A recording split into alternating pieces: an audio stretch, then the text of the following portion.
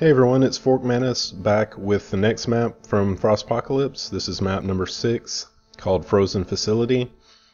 And I'm uh, filming this before work, trying to get it out as early as possible.